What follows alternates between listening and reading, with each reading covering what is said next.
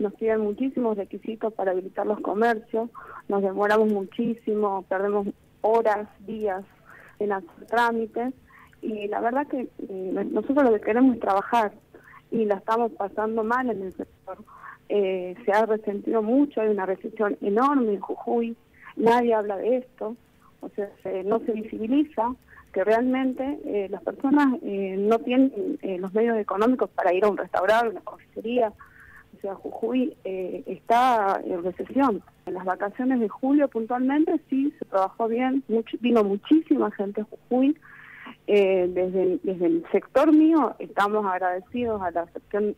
a, la, gestión, digamos, de la Secretaría de Turismo de la provincia, han trabajado muy bien, pero a partir de agosto, eh, no, o sea, se, empezó a parar todo. Nosotros tenemos que reempadronarnos, porque por más de que teníamos habilitaciones definitivas,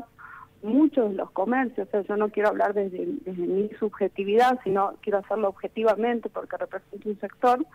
eh, tuvimos que volver a reempadronarnos, o sea, nosotros cada cinco años tenemos que volver a pagar eh, por metro cuadrado que tengamos para volver a habilitar nuestros comercios, lo cual significa un montón de papeles que hay que presentar, que hay que presentar además cada seis meses para obtener el REBA, que es para poder vender bebidas eh, alcohólicas local. Entonces vos tenés que hacer una,